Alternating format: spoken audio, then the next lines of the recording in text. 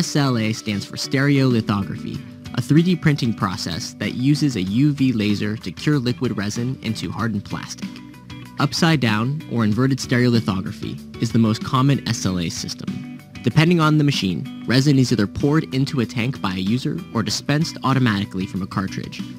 At the beginning of the print, a build platform is lowered into the resin, leaving only a thin layer of liquid in between the platform and the bottom of the tank.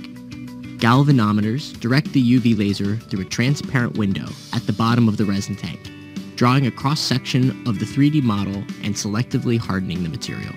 The print is built in consecutive layers, each less than 100 microns thick.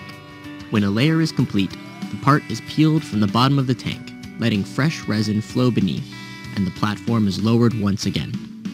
Originally developed in the 80s, SLA was confined to large industrial machines until recently. Today, desktop stereolithography offers affordable, high-resolution 3D printing that fits conveniently in your workspace.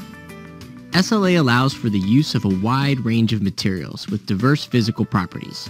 Whether you're an engineer, product designer, sculptor, jeweler, or dentist, there's a material for your application.